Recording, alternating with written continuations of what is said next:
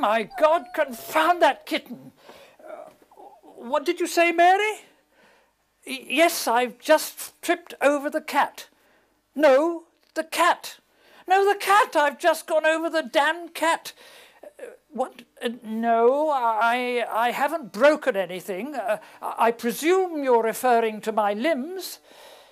Yes, the spout is still on your pot. Yes, the handle is... I'm sorry, Moxon. It would appear tea is off. I've just gone over the wretched kitten. The damn thing's had me over three times, although my dear sister has made quite unsound assumptions about two of the occasions, as I happened to be carrying a, a, a bottle at the time. Now, uh, uh, Moxon, I'm neglecting you. You see, it's Mr. and Mrs. Walden's afternoon off and uh, my and Mary's quite unwell and unable to come down. Uh, look, uh, Moxon, uh, can I can I offer you a glass of port?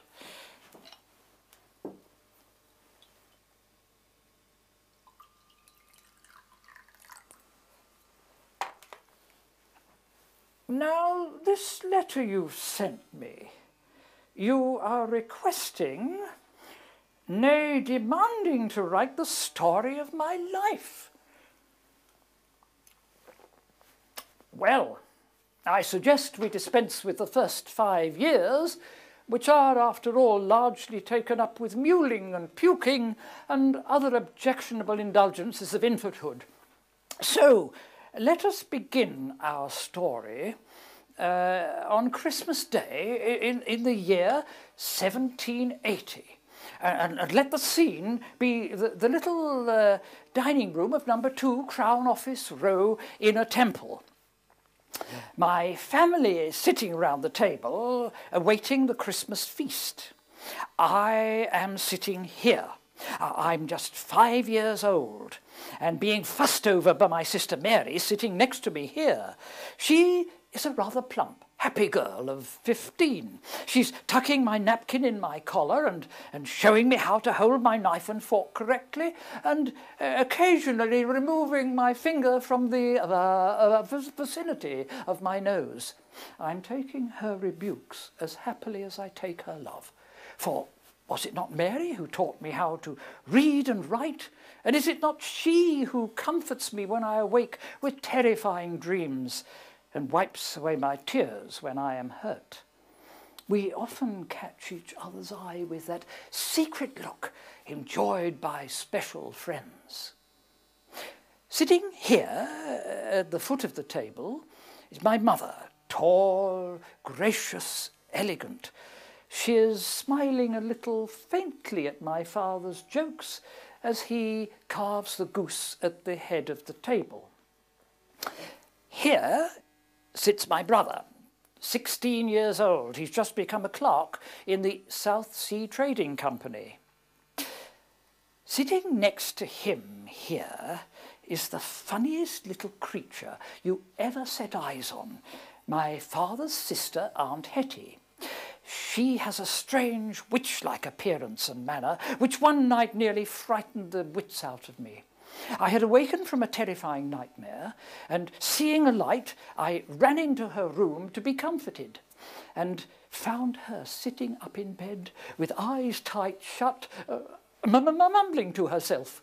Uh, remembering that I'd heard that witches on occasion uh, recited the Lord's Prayer backwards, I fled in terror, and on the landing, my eye was drawn to the picture of the Witch of Endor, raising Samuel, and the likeness to my Aunt Hetty shocked me so that I ran into my bed and, and hid under the covers.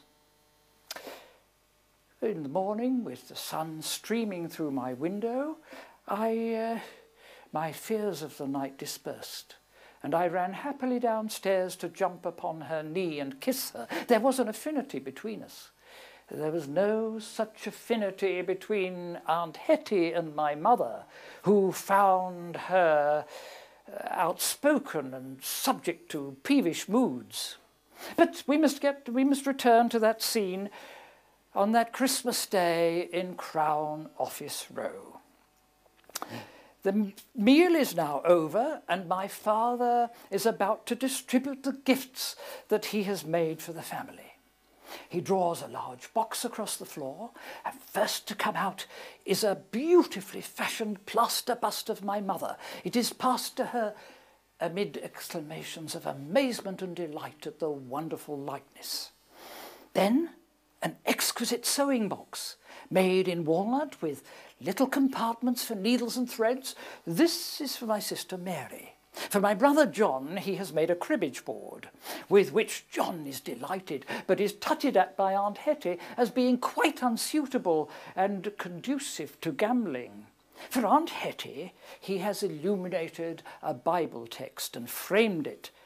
Thus appeased, she even condescends to admire the marquetry on John's cribbage board.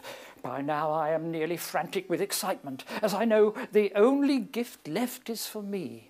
I watch with bated breath as my gift comes out of the box.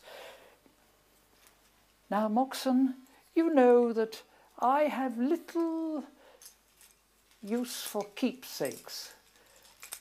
But this little gift made by my father all those years ago, I have kept, uh, because I never tire of playing with him. Look, Moxon, the little fellow quite has a, has a mind of his own. Would you like a turn? Uh, no, of course not. Well, how is that for the first chapter?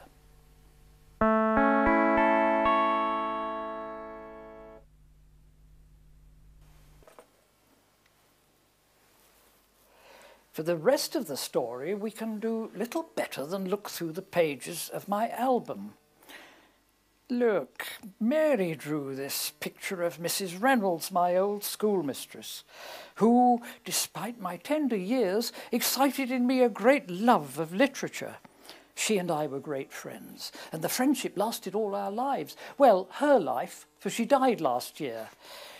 Yes, of course, Moxon. You knew her at our at homes. Yes, she did resemble a little painted doll with her flaxen wig and, and strange manner of speaking, as if she was using a mechanical device. No, no, Moxon, make no mention of the little annuity I awarded her when she fell on hard times, but when she died, I became richer by thirty-two pounds per annum, uh, for the loss of a loss is as good as a gain of a gain.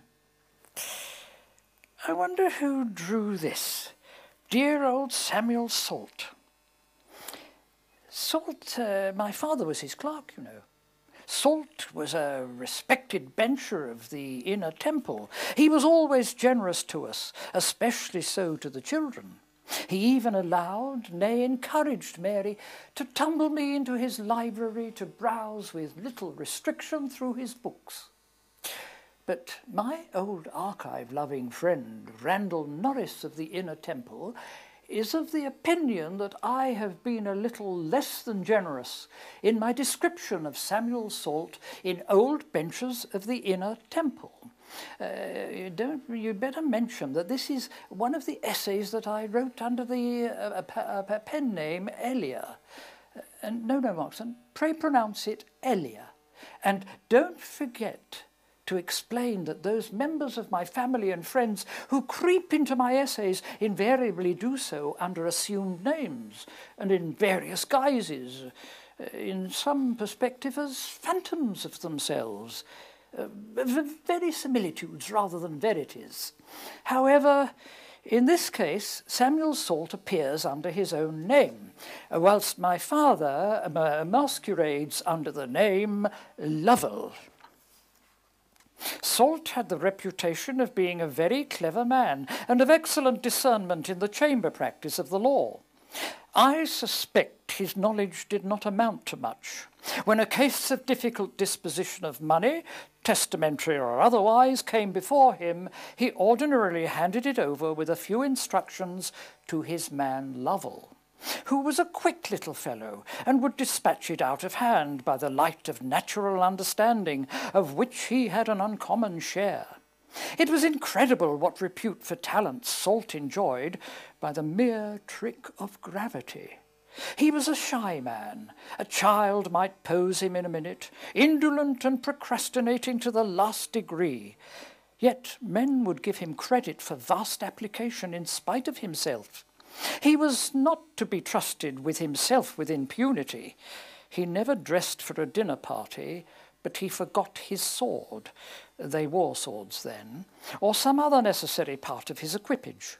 Lovell had his eye upon him on all these occasions and ordinarily gave him his cue. Lovell took care of everything. He was at once his clerk, his good servant, his dresser, his friend, his flapper, his guide, stopwatch, auditor, treasurer. Lovell was the liveliest little fellow breathing, had a face as gay as Garrick's, whom he was said greatly to resemble. I have a portrait of him which confirms it.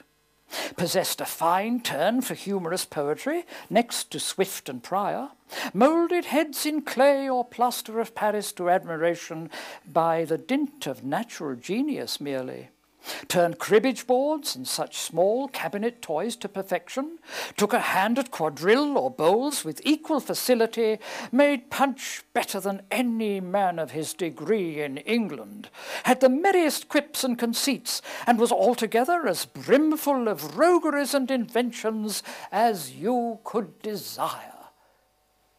What did you say, Moxon? Why did I choose Lovell for my father's name? When I picked that name, only God and Charles Lamb knew why. Now only God knows. Temple Lane. Life inside the inner temple was tranquil. But uh, just a few yards away at the top of Temple Lane was what was to me the most exciting thoroughfare in the world Fleet Street, with its hustle and bustle of horses and carts, mm, sedan chairs, fine carriages, and all manner of humanity on foot, all jostling for a passage along the way. Uh, Moxon, let me read to you what I wrote on the subject for the, for the Morning Post. The Londoner. I was born under the shadow of St Dunstan steeple, just where the conflux of the eastern and western inhabitants of this twofold city meet and jostle in friendly opposition at Temple Bar. The same day which gave me to the world saw London happy in the celebration of her great annual feast. Indeed, I consider myself in some sort a speculative Lord Mayor of London. I can see you laughing, Moxon. I was born, as you have heard, in a crowd. This has begot in me an entire affection for that way of life, amounting to an almost insurmountable aversion to, from solitude and rural scenes. This aversion was never interrupted uh, or suspended except for a few years in the younger part of my life, during a period in which I had set my affections upon a charming young woman. Every man, while the passion is upon him, is for a time at least addicted to groves and meadows and purling streams. During this short period of my existence, I contracted just familiarity enough with rural objects to understand tolerably well ever after the poets when they declaim in such passionate terms in favour of a country life. For my own part, now the fit is past, I, I have no hesitation in declaring that a mob of happy faces crowding up at the pit door of Drury Lane Theatre just at the hour of six gives me ten thousand sincerer pleasures than I could ever receive from all the flocks of silly sheep that ever whitened the plains of Arcadia or Epsom Downs. This passion for crowds is nowhere feasted so full as in London. The man must have a rare recipe for melancholy who can be dull in Fleet Street. I am naturally inclined to hypochondria, but in London it vanishes like all other ills. Often, when I have felt a weariness or distaste at home, I've rushed out into her crowded strand and fed my humour till tears have wetted my cheek for unutterable sympathies with the multitudinous moving picture which she never fails to present at all hours, like the scenes of a shifting pantomime. Every weekday at precisely 8.30, I became a part of that scene. For Mary would take me along this wonderful Fleet Street. Perhaps I should say drag me along, as I was forever looking back at some incident of this dramatic slice of London life as we made our slow progress towards a, Fetter Lane and the little school run by Mr. William Bird. But I was not to remain long in his academy. One day when uh, I was seven years old, I arrived home uh, to find mother and father with Samuel Salt. Now, Charles, said my father, Mr. Salt has something very important and exciting to tell you. The kind old man looked down at me. How would you like to go to the Bluecoat School? he said. I should like that very much, I said, a, a little untruthfully. Good, he said. I've secured a place for you to go there. A few weeks later, I sat tightly clutching Mary's hand in Mr. Salt's carriage as we rumbled along Fleet Street. Then we were in Newgate Street, and the huge gates of Christ's Hospital loomed in front of us. Once inside the gates, a large boy, a man to my childish eyes, dressed in the familiar costume of the school, whisked me away to, to join a group of other new boys. He was, he said, a Grecian, one of the head boys of the school. He said that first of all we had to be fitted into our garb as uh, as Bluecoat schoolboys. We were taken into a room where 20 or so boys were being fitted into the garb that, uh, that was to be my habit for my school life. The coarse white cotton shirt, the uh, black breeches, the yellow stockings, and overall the long blue full-skirted coat that has given the school its second name. I had noticed that one of the other new boys was larger than the rest of us. And he obviously took notice that uh, I was smaller than the rest of the boys, for he turned to me and said, Hello, I'm Samuel Taylor Coleridge. I'm Charles Lamb, I said, and we both instinctively put out our hands and shook hands, and in that gesture a bond was sealed that has lasted the rest of our lives. However, the pleasure of the moment was not to last long, for our Grecian said, Follow me. As we did so, I little thought that uh, Coleridge walking beside me would himself one day be a Grecian, and that I should become a deputy Grecian. Then our Grecian told us that he had an unpleasant duty to perform. He had to show us what would befall any boy who tried to run away from the school. In the essay, Christ's Hospital five and thirty years ago, I describe the shocking scene we beheld. I was a hypochondriac lad and the sight of a boy in fetters upon the day of my first putting on the blue clothes was not exactly fitted to assuage the natural terrors of initiation. I was of tender years, barely turned of seven, and had only read of such things in books or seen them in dreams. I was told he had run away. This was the punishment for the first offence. As a novice, I was soon after taken to see the dungeons. These were little square bedlam cells, where a boy could just lie at his length upon straw and a blanket. A mattress, I think, was substituted afterwards. With a peep of light let in askance from a prison orifice at the top, barely enough to read by, here the poor boy was locked in by himself all day, without sight of any but the porter who brought him his bread and water, who might not speak to him, or of the beadle who came twice a week to call him out to receive his periodical chastisement, which was almost welcome because it separated him for a brief interval from solitude. And here he was shut up by himself of nights, out of the reach of any sound, to suffer whatever horrors the weak nerves and superstition incident to his time of life might subject him to. This was the penalty for the second offence. Soon after this, still reeling from the effect of this, uh, we were taken along to meet our masters. All of us in this little group were to spend most of our time in the School of English. The two schoolmasters there were the Reverend Matthew Field, who took what was called the lower grammar, and the Reverend James Boyer, who was the upper master.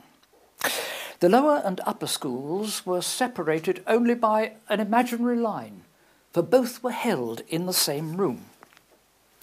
When I was first ushered in, I was delighted to be placed in the lower school, where the Reverend Matthew Field presided. Now, he was a tall, fashionably dressed gentleman with a kind face and, uh, and a gentle manner. His pupils looked relaxed and almost lolled in their desks. I was happy to join them.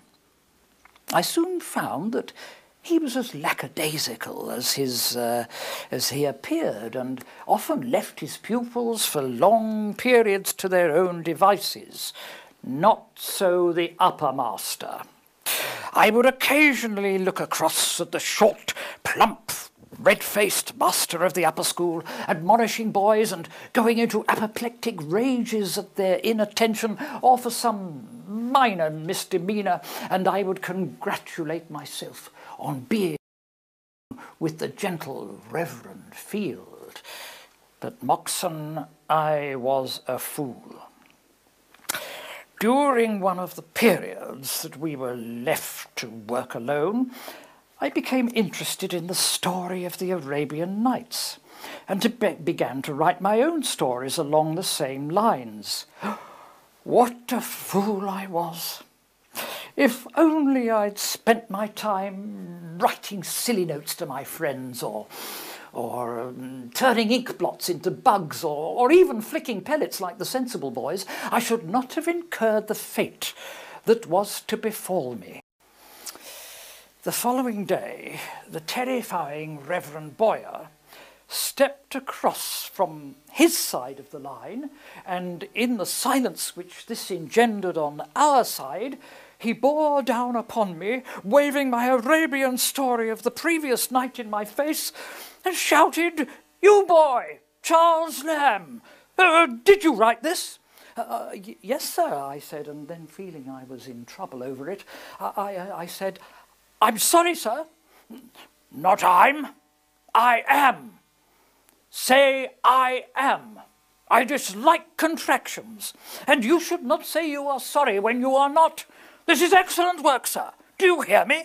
Excellent work. And you shall be rewarded, sir. Young as you are, you are to come and work with me. I followed the irascible Reverend Boyer to his side of the line.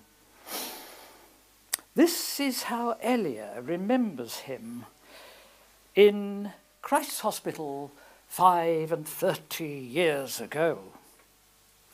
I have known him double his knotty fist at a poor trembling child, the maternal milk hardly dry on its lips, with a Sirrah, do you presume to set your wits at me? Nothing was more common than to see him make a headlong entry into the schoolroom from his inner recess or library, and with turbulent eye, singling out a lad, roar out, my life, sirrah! His favourite adjuration. I have a great mind to whip you. then, with a sudden retracting impulse, fling back into his lair, and after a cooling lapse of some minutes, during which all but the culprit had entirely forgotten the, the uh, context, drive headlong out again, piecing out his imperfect sense, as if it had been some devil's litany with the explanatory yell, And I will, too! Is it any wonder that his old pupils cannot speak of him without something of terror allaying their gratitude? But like Coleridge, I had reason to be grateful to him, for in his gentler moments he fostered in his pupils a great love of literature. He once honoured me by including one of my poems, Mille Viae Mortis, in his pupils' merit book. Of course, Coleridge had three items in it. Now, the boys from the grammar school were ordinarily destined for university and, and a career in the church. Coleridge went to Cambridge. When the time came for me to leave Christ's Hospital, a problem arose, for I was unsuited for a career in the church on account of my stutter. I was discussing this with some of my companions when one said he was glad I should not be taking holy orders, as he despised the clergy. He had just been chastised by the Reverend Boyer for sleeping during his sermon, and said vehemently, A pox on all clergymen! I hope his wish did not come true, as he is now a Bishop of Cape Town. Then a friend of Samuel Salt, Joseph Paice, came up with the suggestion that I should work as a clerk in his office while I decided upon my future. When I left his office, I went to a temporary post at the South Sea House, a run-down house of commerce.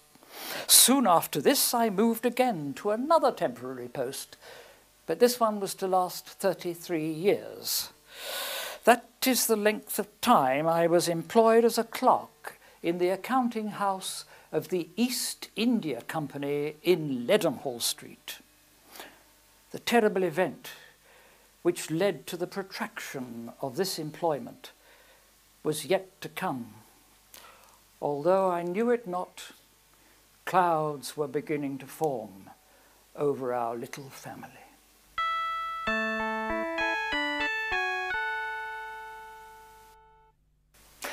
I'm now 17 years old, and I'm on the Hertford coach on my way to see my grandmother field at Blakesware in Hertfordshire. Yes, Moxon, the house I call Blakesmoor in the essays.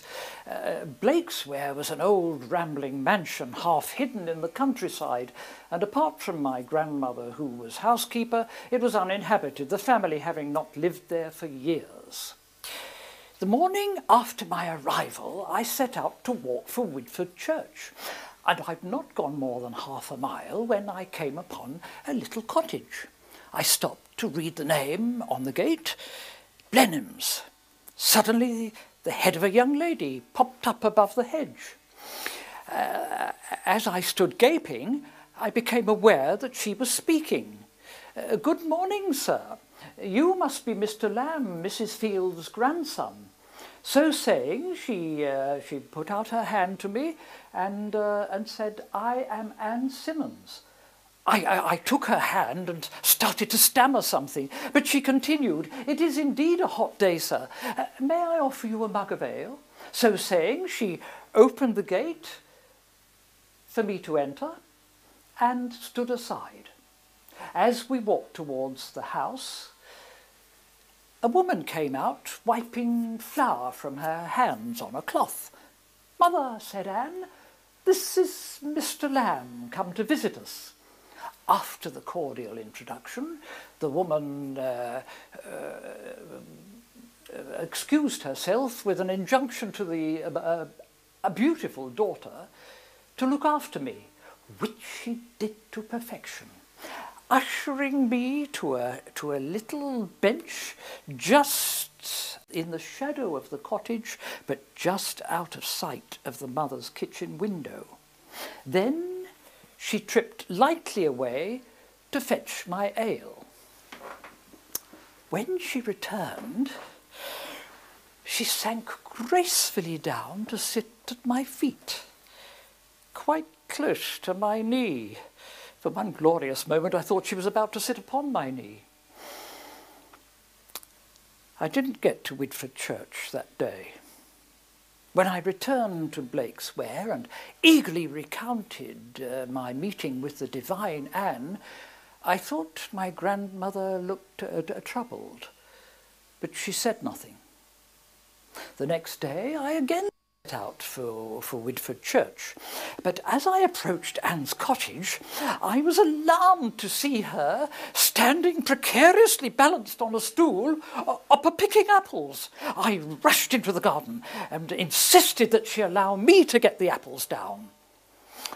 Mrs. Simmons was most grateful when we handed her the apples, but added with a smile that um, she could not recommend us as apple pickers, as we had been more than three hours uh, picking six apples.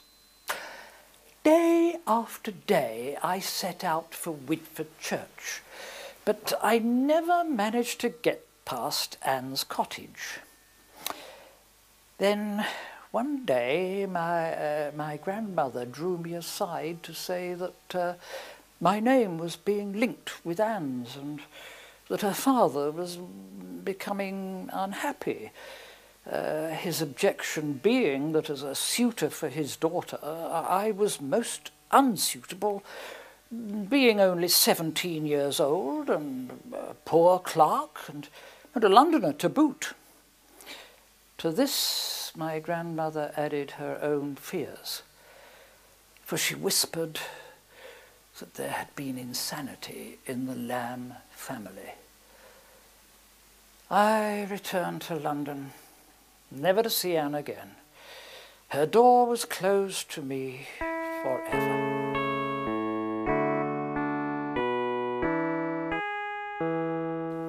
Seventeen ninety two was not a happy year. Samuel Salt was dead, and we'd moved into lodgings on the top two floors of number seven Little Queen Street, Holborn.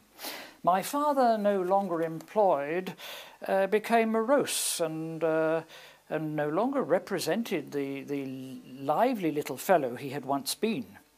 My mother becoming was becoming paralysed, and uh, poor Mary had to nurse her as well as uh, work at her business as a mantua maker. Uh, she had become so successful she'd had to employ a, a little apprentice. Every day I would walk to Leadenhall Street, where I would perch upon my stool amongst the other clerks in the uh, accounting house uh, all of them with heads bent, working assiduously at their ledgers. My head was also bent low, but on this occasion, not to the advantage of the East India Company. I'm dreaming of scenes in Hertfordshire, of Anne, and I'm writing a sonnet. When last I roved these winding woodwalks green, green winding walks and shady pathways sweet, Oft times would Anna seek the silent scene, shrouding her beauties in the lone retreat. No more I hear her footsteps in the shade. Her image only in these pleasant ways meets me self-wandering, where in happier days I held free converse with the fair-haired maid. I passed the little cottage which she loved, the cottage which did once my all contain. It spake of days which ne'er must come again, spake to my heart, and much my heart was moved. Now fair befall thee, gentle maid, said I, and turned me from the cottage with a sigh.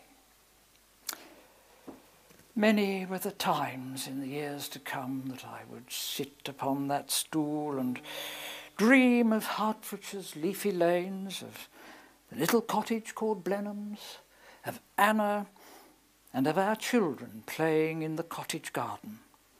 But of course they were only dreams, so Anne becomes Alice in Dream Children. While I stood gazing, both the children gradually grew fainter to my view, receding and still receding till nothing at last but two mournful features were seen in the uttermost distance, which, without speech, strangely impressed upon me the effects of speech. We are not of Alice, nor of thee, nor are we children at all. We are nothing less than nothing in dreams. We are only what might have been. My evening walk home took me past the Salutation and Cat, where I would meet Coleridge and, and we would discuss the latest literary publications long into the night. Of course, the, the landlord would insist on our drinking. And uh, this often led to people forming um, unfortunate conclusions. But you must make it clear, Moxon, that I on no occasion arrived home at a tipsy from the salutation and cat. No, it was from the feathers that I would arrive home at a tipsy.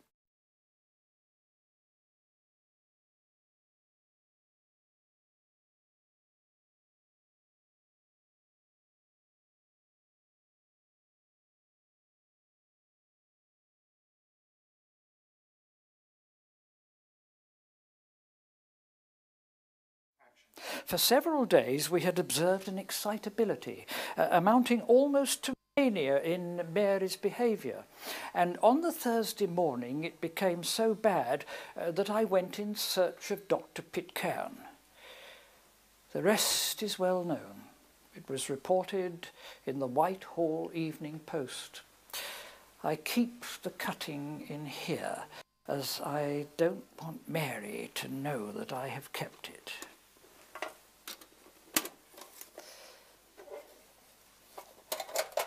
But you will have to include it in the book.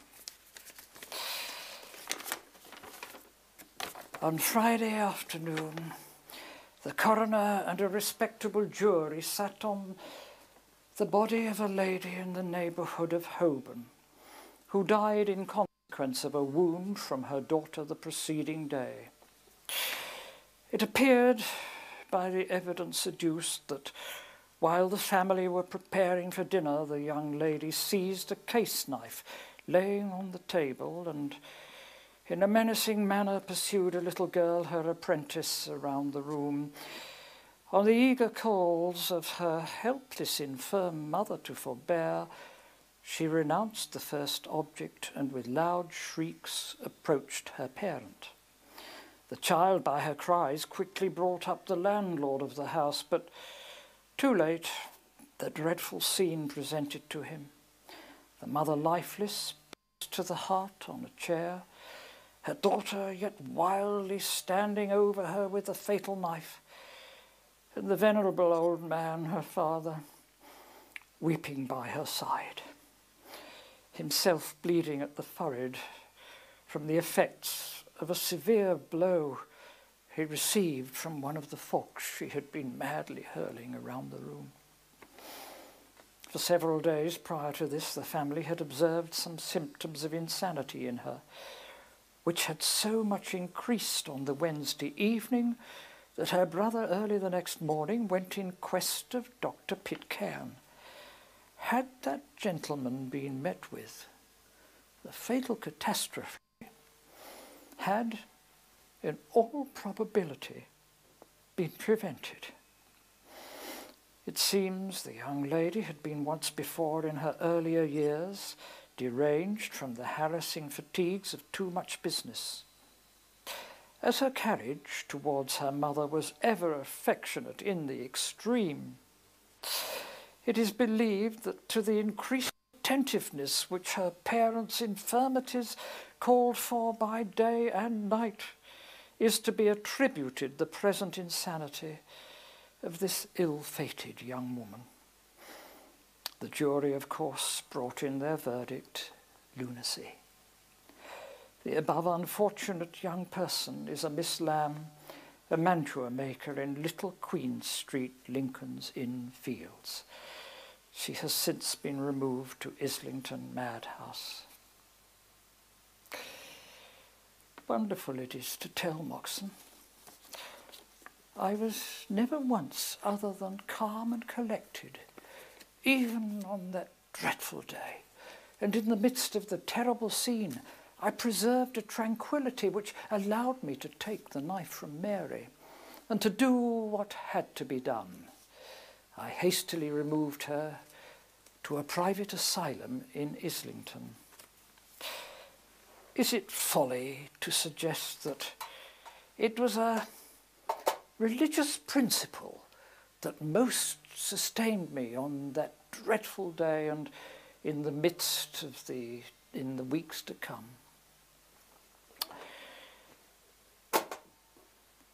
As the verdict was lunacy, there was no trial, and Mary was put in the hands of the medical authorities. After a few weeks, she was as sane as she'd ever been, and, and sent me this note. I have no terrifying dreams. At midnight, when I awake, the nurse sleeping by the side of me, with the poor mad people around me, I have no fear. The spirit of my dead mother seems to descend and smile upon me, and bid me to live to enjoy the life and reason the Almighty has given me. I shall see her again in heaven. She will then understand me better. Poor Mary. Mother never understood her right, but she loved us all with a mother's love, and we all loved her dearly. The medical authorities soon said that they had no objection to Mary being moved from the asylum into a private establishment if a responsible person could be found to take full charge of her upon her release. This I offered without hesitation, but against my brother's wishes. However, he no longer lived at home with us, and I felt it was not his place to interfere. Uh, we fell out about it. I couldn't, of course, have Mary at home with my father, now in his dotage and demanding constant amusement and attention, so I found a house where she could be cared for, and I found lodgings for the family nearby. Uh, I visited her daily. Hmm? Yes, Aunt Hetty was still with us. I think she died in 1798. Then in 1799 my father died and at last Mary could live at home with me.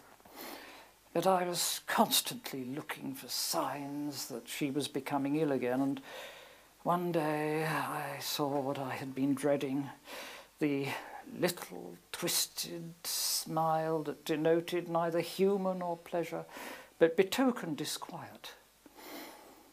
I asked her if she was well, and she burst into tears and said, I fear I must go away for a bit. Whereupon I too burst into tears as we packed her bag and trundled off to the asylum. A journey we were to repeat many times in the years to come. When I returned, uh, our dear old maid appeared unwell and uh, I sent her to bed. Two weeks later, she died. That evening, my dear friend Lloyd called and told me I should come out and shake off the doldrums. I told him that I could not with our poor old maid lying in her coffin in the next room, but, uh, but he insisted, and I went reluctantly.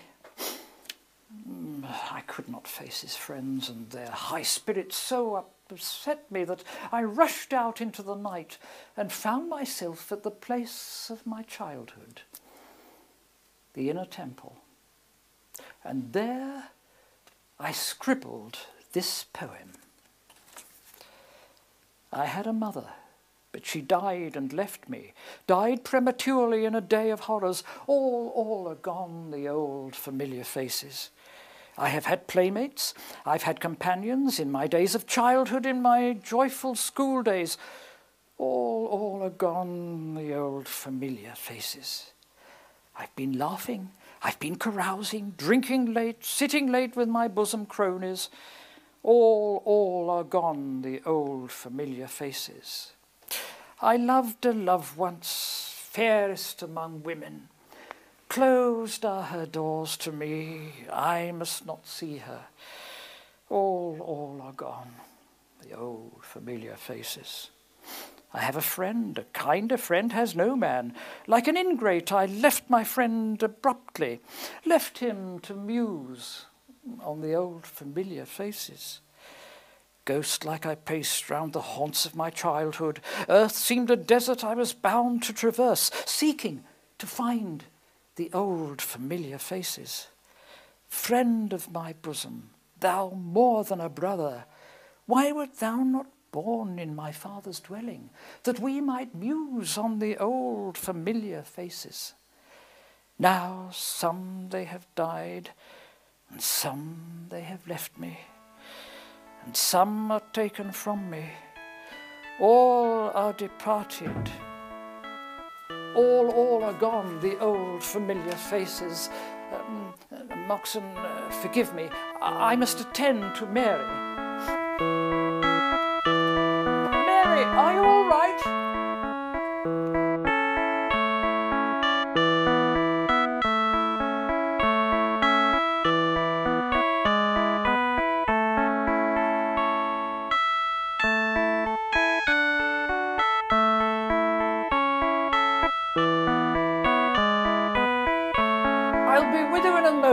Moxon. Uh, I'm just taking this up to Mary.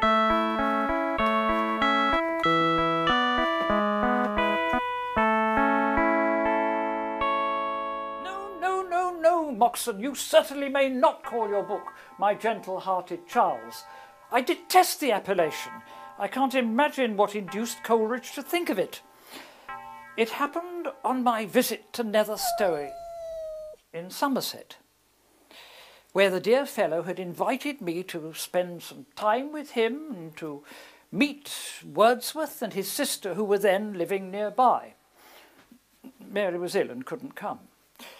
One morning, as we were preparing for a picnic, the dear clumsy Coleridge managed to tip a, a kettle of boiling water over, over his bare foot, with the result that he could not walk for several days. So Wordsworth, Dorothy, and I went whilst he remained in the garden writing a poem. This lime tree bower my prison. I didn't see the poem until later when he published it in the annual anthology for 1800.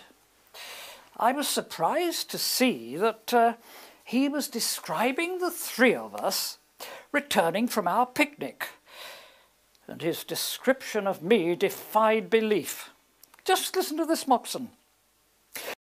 They wander on in gladness all, but thou methinks most glad, my gentle-hearted Charles, for thou hast pined and hungered after nature many a year in the great city pent, winning thy way with sad yet patient soul through evil and pain and strange calamity. I was horrified when I saw what he'd written.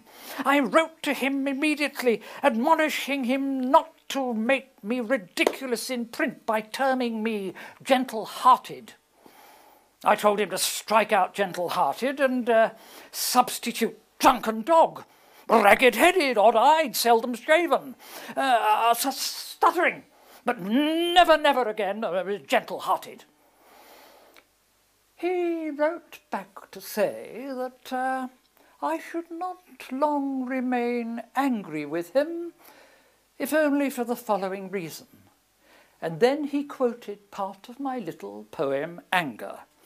Anger in its time and place can assume a kind of grace. It must have some reason in it and never last beyond a minute. If to further lengths it go, it does into malice grow. Coleridge told me that I'd been unaccountably quiet and reticent during the visit, but that the Wordsworth had been as charmed with me as I was with them. Later I found that there was another reason for my presence in Somerset. Coleridge thought that the tranquil country life and bracing air would have a rejuvenating effect on my health and spirits. And in this he was joined by Wordsworth, another worshipper at the altar of the countryside. It was I who dubbed him the, the poet of nature. Uh, I have a great respect for the dear solemn fellow. Yes, I did uh, but I was at a tipsy at the time. Oh, why do my friends so delight in reminding me that I once called him a rascally old lake poet? After all, I was far more rude to others at Haydon's dinner uh, before Keats uh, carried me out. Back in London, Mary and I had settled into new lodgings at Chapel Street, Pentonville. She busied herself happily with domestic affairs, and I spent quite a lot of time looking out of the front room window in the hopes of a glimpse of, the, of a beautiful Quaker girl who lived at the end house opposite. I, I suppose I, I had fallen in love with her, although I never once spoke to her. She invariably wore white and this gave rise to one of my better puns. A friend once joked as she passed, Ah, there goes Charles's beautiful white witch. To which I replied, If a witch at all, as she lives at the end house, she must be the witch of Endor. Witch of Endor, Moxon. Oh dear. Soon Hester, my lovely Quaker girl, married, but within a few months, just before her 26th birthday she died, and I wrote Hester. When maidens such as Hester die, their place ye may not well supply, though ye among a thousand try with vain endeavour. A month or more hath she been dead, yet cannot I by force be led to think upon the wormy bed and her together. A springy motion in her gait, a rising step did indicate of pride and joy no common rate that flushed her spirit.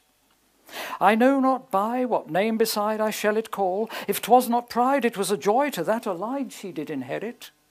Her parents held the Quaker rule, which doth the human feeling cool. But she was trained in nature's school.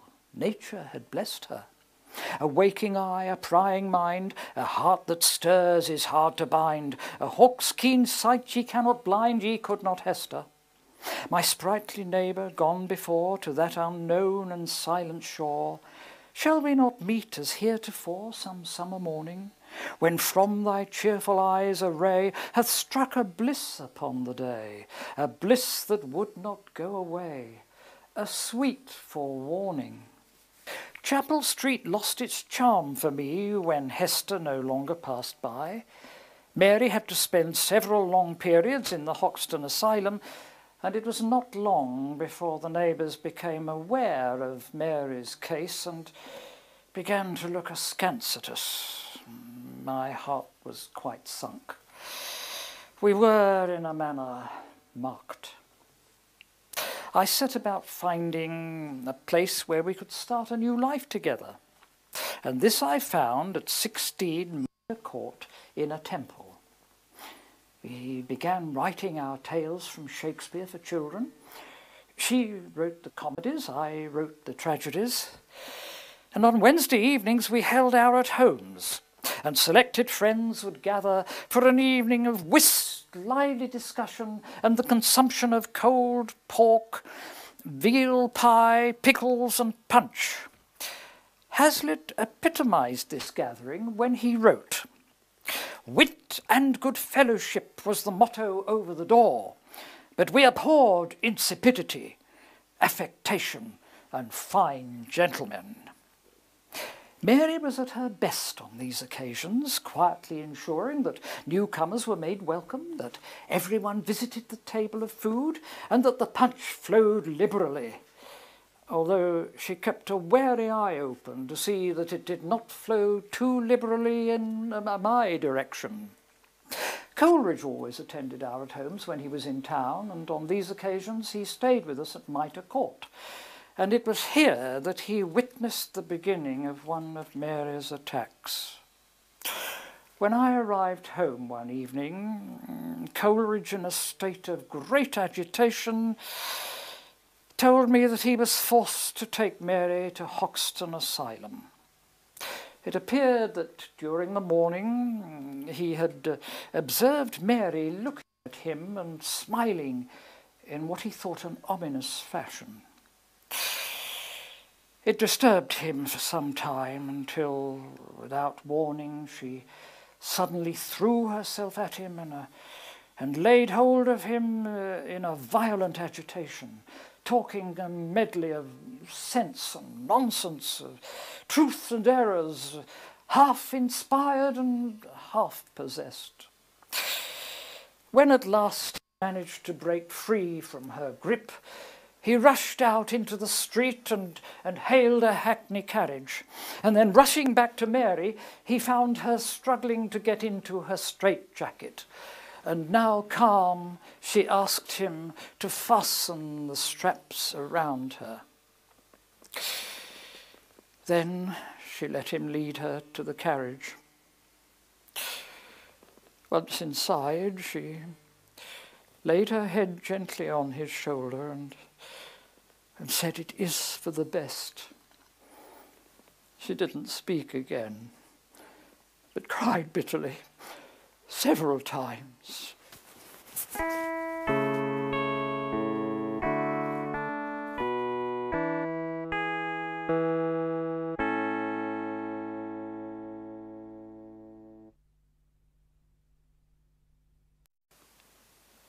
Just look at this, Moxon. How cleverly Partridge has caught the bewitching expression on Fanny's divine plain face. Fanny Kelly, how shall I begin your story? Did I ever tell you what happened the, uh, the first time I saw her? It was terrifying. Uh, imagine this scene. Mary and I are sitting in the front row of Drury Lane. Knight the comedian and Fanny Kelly are on the stage, uh, in the middle of an hilarious scene when a shot rings out and Fanny falls into the arms of Knight. The audience is showered with fragments of scenery from the blast, and uh, the curtain is lowered. The, uh, the, uh, amidst all the pandemonium, a madman is, uh, uh, with a gun is overpowered and led away. Uh, excited whispers begin to circulate. Uh, his name's George Barnett, uh, persecuting Fanny with letters, uh, objects to her playing breeches parts. Then a great hush. The curtain rises and Knight steps forward to say that uh, despite her shock, Fanny is to return, to continue in the play. She comes on to thunderous applause. Oh, what a lass! From that day, my admiration grew. And, and, it would appear that my reviews of Fanny uh, reflected that admiration. Friends would, uh, would often smile knowingly and say, uh, saw your review of Fanny Kelly in the uh, Examiner. Did the play just have the one character? It was at her hour at Holmes that I first became aware of, of Fanny's sweet and loving nature. And when my sonnet to Miss Kelly appeared in the Examiner, uh, my adulation became a source of gossip. Here it is. You are not Kelly of the common strain that stoop their pride and female honour down to please that many-headed beast the town, and vend their lavish smiles and tricks for gain. By fortune thrown amid the actor's train, you keep your native dignity of thought. The plaudits that attend you come unsought as tributes due unto your natural vein. Your tears have passion in them, and a grace of genuine freshness which our hearts avow. Your smiles are winds whose ways we cannot trace, that vanish and return we know not how, and please the better from a pensive face a thoughtful eye, and a reflecting brow. Well, after that, people began to wink at me whenever Fanny Kelly's name was mentioned, but Fanny seemed oblivious to the attention and carried on as usual. She frequently popped in for cocoa and a chat with Mary after the show.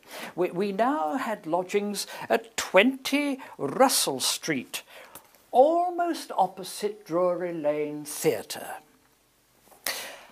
I would sit and, uh, and watch them chatting happily together, Mary sewing and Fanny discussing some cloth she'd bought to be made up into such and such a costume. They were indeed happy days. I often thought what a pity it was that Fanny should have to earn her living exposed to the whims of an often fickle public, when obviously she was such a natural homemaker. She was now one of the principal actresses at Drury Lane and the Lyceum. And when a play called The Merry Beggars was put on, she had a part suited to her talents in which she excelled. Uh, the audience was captivated by her, and uh, I was so entranced with her performance that I ran home to write my review for the examiner before she should come across to our rooms for cocoa. When she came in that night, I noticed that Mary was distracted and was not quite sure what she was doing with the milk for the cocoa. I took the saucepan from her and noticed the, uh, the little strained smile upon her lips. Now, Fanny was an astute woman and as sensitive as she was clever. She went to Mary, put her arms around her and said, Dearest Mary, tonight has been a terrible strain on me. What with it being the first night of, of, of the new play, uh, would, would you forgive me if I went home to rest uh, for tomorrow? I'll call tomorrow in the afternoon, if I may. Mary gratefully agreed. When Fanny returned the following afternoon, he was already in the asylum. Ah, Lyceum Theatre, 19th of July, 1819. Fanny Kelly in The Merry Beggars. I shall not forget that night. It was a lively audience, and although they were quiet enough when Fanny was on the stage, the actors had to contend with a great deal of noisy banter from the audience. I was sitting in my accustomed place in the uh, third row when an orange girl squeezed herself along and said, Good evening, Mr. Lamb. All the girls knew me. Uh, don't write this down, Moxon. Suddenly, she was sitting upon my lap, asking me if she could uh, peel my orange. Uh, of course, you understand that all this happened while I was trying to see my dear Fanny on the stage, and such was the uh, buxom construction of the young lady, uh, my view was completely obscured. Seeing this, the uh, you see my problem. Seeing this, the young lady said, "Oh, sorry, Mr. Lamb." And lifted my chin to rest it upon her ample and uh, largely uncovered bosom. Oh dear, this is all wrong, I thought. Very pleasant, but um, quite wrong. I really felt sickened that such a great artiste should be uh, performing in front of an unruly and uncaring audience. I ran home and immediately put pen to paper. I'd never written such a letter before. I've kept the first draft of it here in my album. We had the pleasure, pain I might better call it, of seeing you last night in the new play. It was a most consummate piece of acting, but what a task for you to undergo at a time when your heart is sore from real sorrow. It has given rise to a train of thinking which I cannot suppress.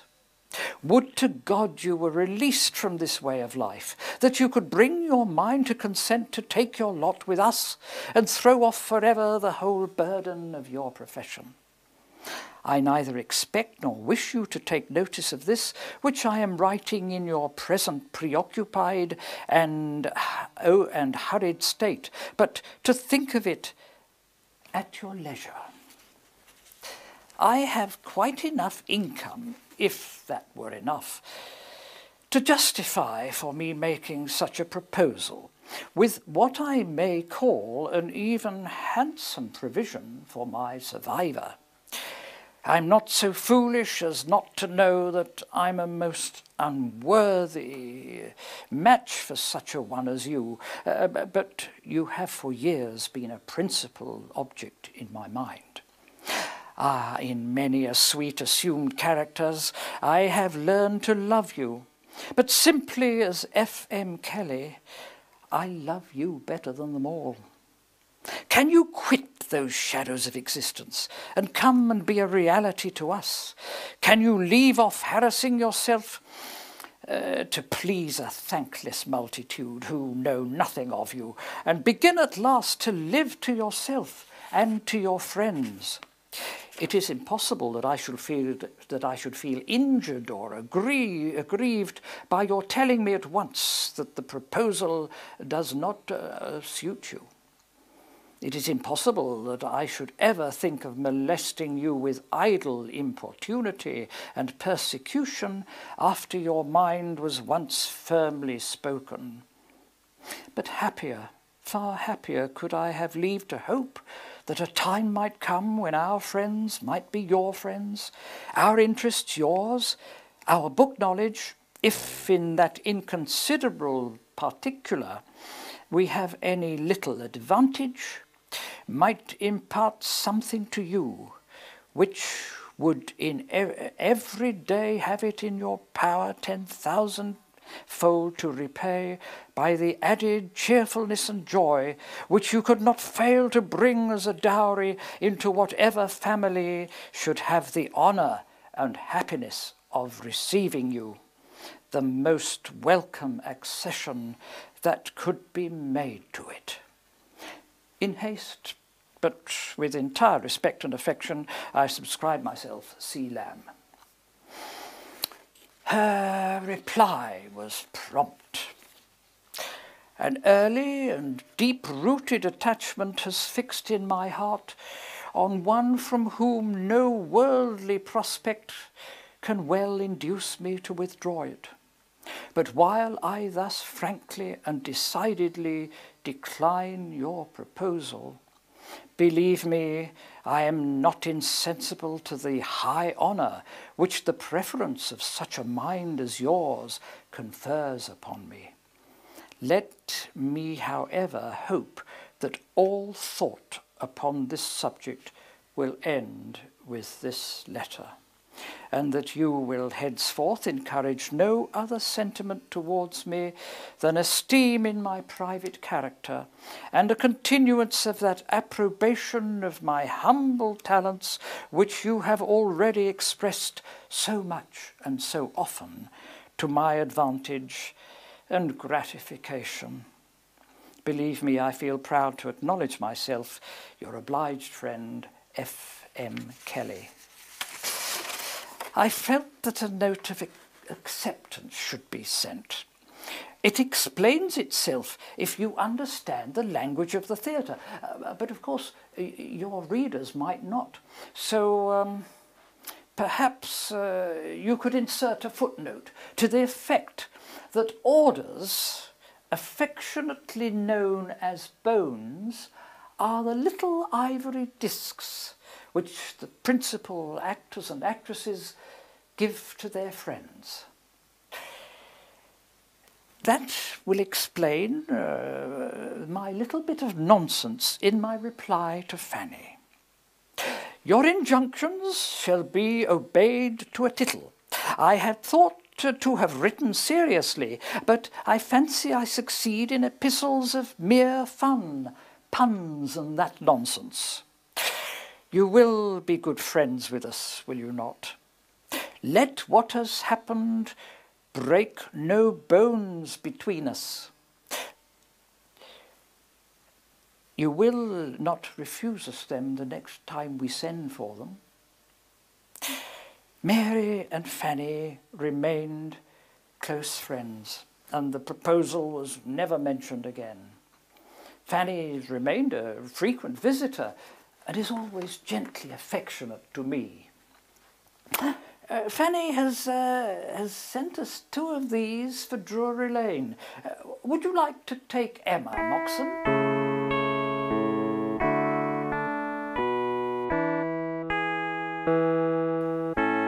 Now Moxon. Cambridge, 1820. Emma.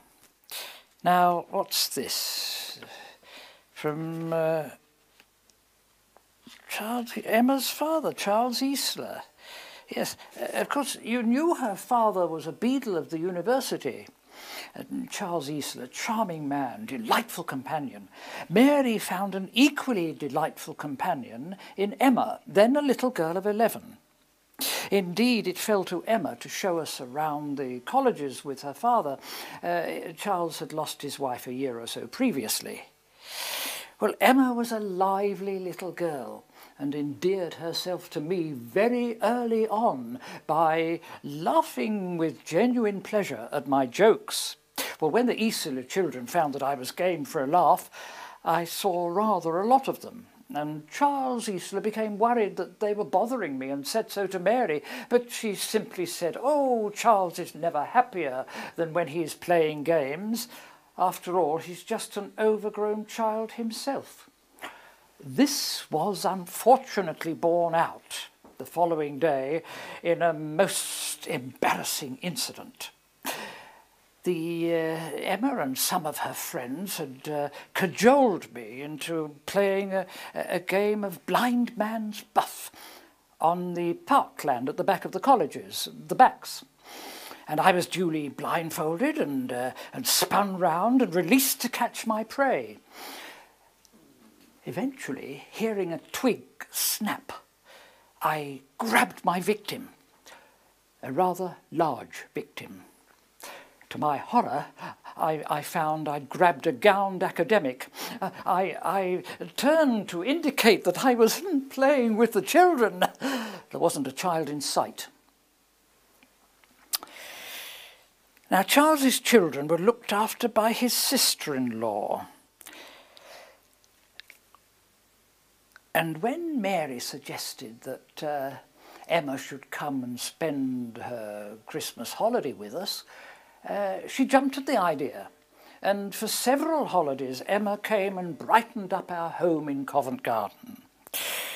In 1823, Charles Isola died, and Emma came to live with us permanently. I shall never forget the journey home from Cambridge with her we had the coach to ourselves. Mary, I sat opposite Mary, who had her arms around the sleeping Emma. And as I looked on Emma's uh, face, I, I found myself repeating the lines that I'd written about Anne Simmons and our dream children. We are not of Alice, nor of thee, nor are we children at all. We are nothing, less than nothing in dreams. We are only what might have been. Now, as I looked on Emma's face, so beautiful and innocent in repose, I had no more need of dreams. For here was a dear child uh, for us to love and to cherish. Sorry, Moxon, the damned snuff, you know. Emma loved the excitement of being in Covent Garden and would accompany me to the theatres and around the bookstalls in Holborn. She often told us how happy she was. She was not quite so happy when she found I'd enrolled her in a school ladies in Dulwich. But of course she thanked me very prettily, although I knew she would far rather have stayed at home and to meet all the exciting visitors who came to our house. She'd already made great friends with Fanny Kelly.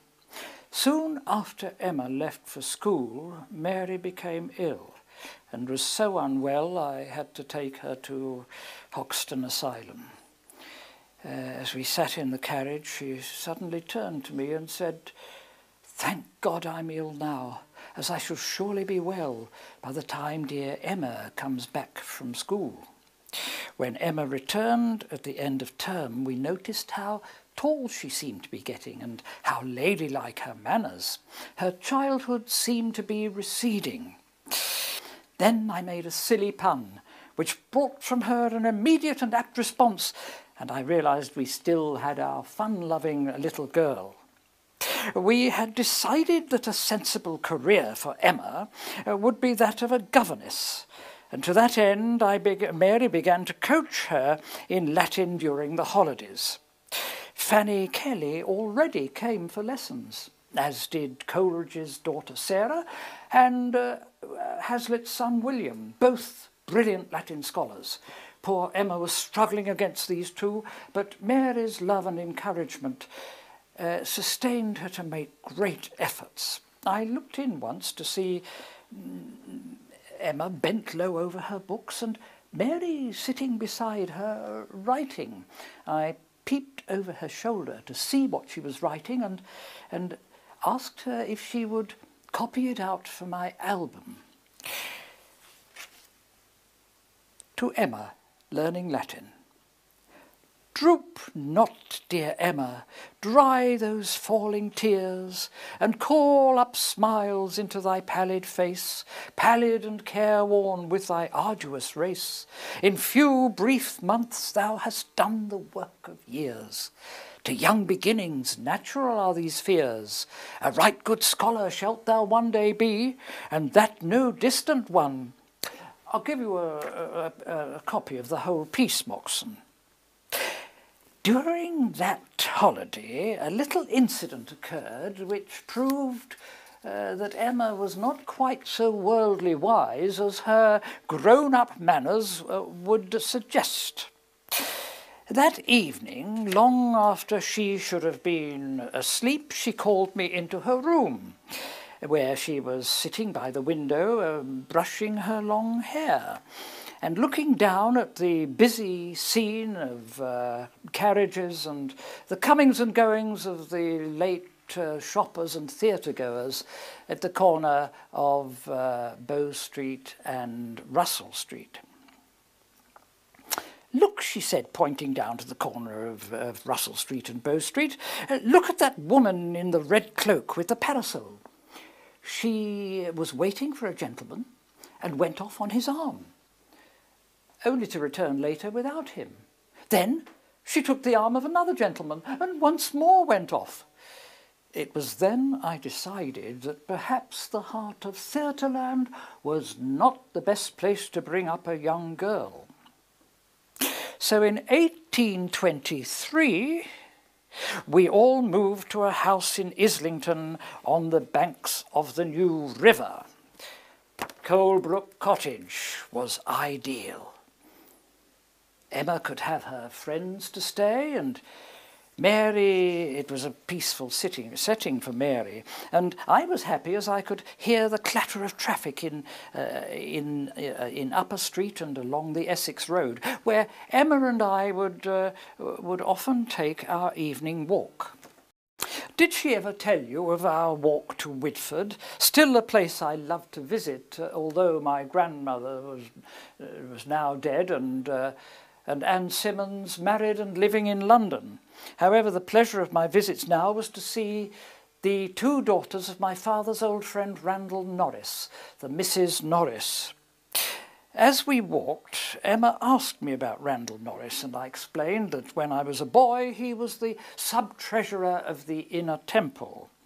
I said he always called me Charlie. He was a dear friend to our family and was wonderfully kind to us in a time of great distress. He called me Charlie to the last. He died last year. Now I have no one to call me Charlie. Emma squeezed my arm affectionately and smiled up at me. The sisters Norris had opened a school for young ladies called Goddard House School, and uh, they were always pleased to see me, although their pleasure, of, uh, pleasure was slightly muted by the fact that um, uh, their pupils, delighting in my jokes and puns, became almost unteachable for the duration of my visits. But to return to this particular visit, as we set out from Islington, it did not occur to me to tell Emma that Widford was 22 miles away, and long before we reached the school her poor feet were blistered, but stalwart as ever she battled on. Once there, she had to spend three days in bed while the blisters healed. Of course, I was hauled off to the study to, to be reprimanded for my carelessness by both schoolmistresses. When we got back to Islington, Emma had her school friend Maria Fryer to stay, and they would talk for hours about nothing. I once overheard them talking in the garden at Colebrook Cottage, and I jotted down the conversation. Maria asking if Mr. Dyer would be eating with us again that evening. I expect so, said Emma. He makes me laugh, never remembers my name, and looks so comical with his long legs in trousers far too short, and his coat far too large. How he ever kept order as a schoolmaster, I cannot think. Then Maria asked, why does Mr. Dyer pass Mr. Lamb a little coin before beginning his dinner? It's a shilling, said Emma. He pays Mr. Lamb a shilling for his dinner. It began when he was very ill, and Mr. Lamb kept him here while we nursed him back to health. Mr. Lamb suspected that he was not being fed properly by the untidy little niece who looks after him. So he insisted that he should come here and dine with us each evening. Mr. Dyer said that he would not, as it would be an imposition. Well, said Mr. Lamb, would you consider it an imposition if I charged you a shilling a dinner? Now he comes whenever he remembers, but he is so terribly absent-minded. Mr. Lamb says it's because his head is for ever up in the clouds, hovering round Mount Parnassus.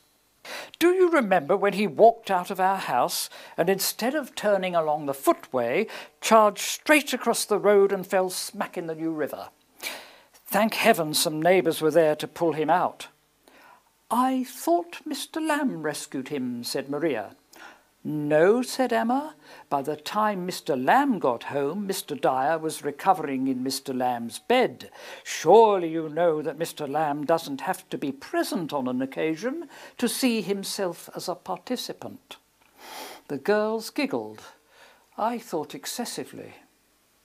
But Maria was speaking again. I do like your father. I mean Mr. Lamb. Are you never tempted to call him father, Emma?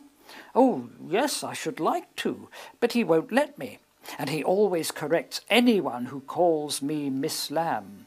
I think he's afraid that people will jump to the wrong conclusions. You know, being a bachelor. But in truth, he is a wonderful father to me. Be sure you put that down, Moxon. I was just about to close the window when I heard Maria say, and he is such fun to be with. Yes, said Emma, he is. Mind you, Miss Lamb and I do have to keep an eye on him. He can be a bit of a pickle, especially after a glass or two of wine. Here I closed the window quite firmly. Ah, Tuesday, the 29th of March, 1825. I slipped off my stool at the East India Company and walked home a free man. Thirty-three years of slavery had ended. For the next two years, I lived in retired leisure. In 1827, we moved to Enfield.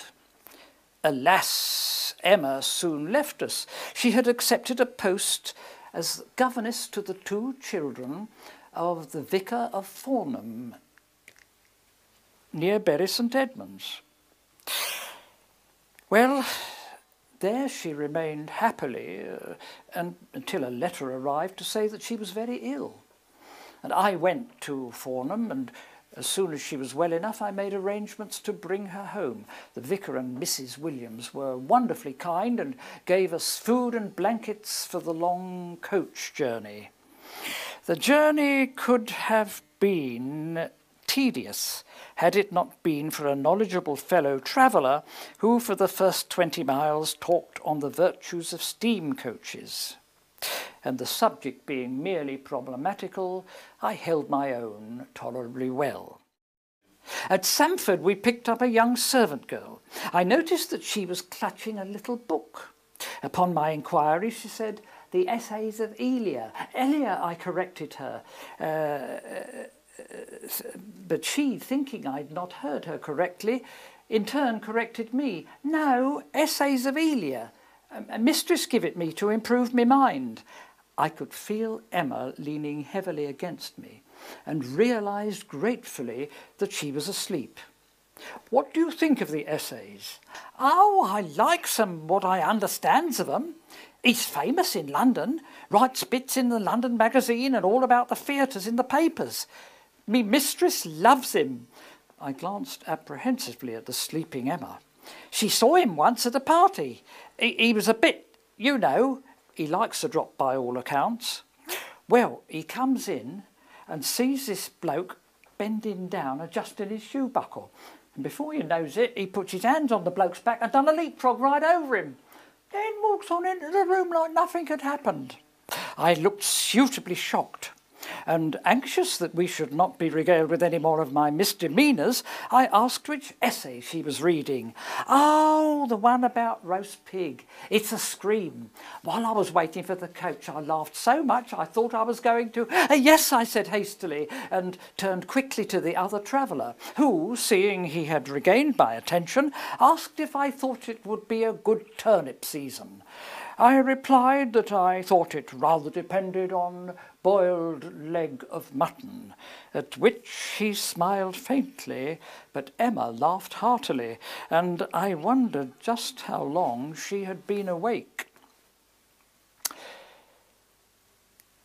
When we finally arrived at Enfield, she and Mary hugged and cried and cried and hugged until I spilt my snuff, and then we all ended up laughing and hugging and crying until I was finally banished to my study whilst Emma was put to bed. Emma's recovery was slow. She was very weak, but gradually the colour came back into her cheeks especially on days when my uh, a publisher, one Edward Moxon, visited. Eventually, his visits became so frequent that I said to Mary, I really think Moxon is taking his publishing duties towards me too seriously. Don't be silly, she said. It's Emma he comes to see. Well, you could write the rest of Emma's story as well as I could now, Moxon. Mm, your, your wedding in the splendid church of St George's, Hanover Square. Mind you, what you probably don't know is that I had to be reprimanded as I walked up the aisle with Emma looking as pretty as Pamela on my arm. But you know, solemn and emotional ceremonies have a strange effect on me. Uh, I feel I have to laugh. And Emma, horrified at hearing a nascent giggle, said sharply, Not now. It had the desired effect. From then on, I played my part impeccably as the dutiful father. Now, after all our many and various moves, we've come to our final resting place. This little asylum here at Bay Cottage, Edmonton. Our days brightened only by visits from you and our dear Emma and Fanny Kelly. Now I sit here and muse on the old places and faces. Before you came, I was reminiscing on the antics of dear old Jem White. You know, he used to give a banquet for the uh, at, at Smithfield uh, on, on the occasion of Bartholomew's Fair for the chimney boys of London. Oh, what fun we all had. Three long tables were erected and covered in sheets. At the head of each was a brazier laden with a pan of sizzling sausages, each presi presided over by a, a, a comely hostess. Uh, Jem White, as head waiter, presided over the main table here, whilst I and Fenwick presided over the other two. Mine here, his here. On the whole, uh, th there was a little scrambling at first as to who was to sit on the main table, but on the whole, an air of great harmony prevailed. Jem referred to the company as gentlemen, and gentlemen they were, at least for one glorious night of the year. The proceedings were always begun with the same inaugural ceremony. Jem would grasp the buxom Ursula, uh, uh, the, the cook at his table, around the waist and plant a kiss upon her chaste lips. This was the signal for a great cheer, and we waiters would spring into action, distributing the sausages, bread and ale into the waiting mouths in the cheery faces of the children. Then Jem would spring upon a bench, and a hush would fall over the proceedings in readiness for the toasts. Raise your mugs, gentlemen, the king! Gentlemen, the cloth! The cloth, they would all shout, neither knowing nor caring whom they were toasting, but if Jem White thought them worth toasting, so did they.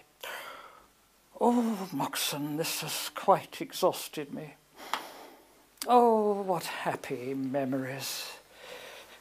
Poor, poor Jem White is now extinct and the suppers long ceased. When he died, he took away half the fun of the world, of my world at least. And now, Coleridge has gone, but his great and dear spirit is part of me. For some they have gone, and some they have died, and some have been taken from me. All, all are gone. The old familiar affair. Look at the time, Moxon. Emma and Mrs. Walden will be here soon, and then we won't be able to get to the bell. Come, Moxon, quickly. Quickly, Moxon. Moxon, do come on.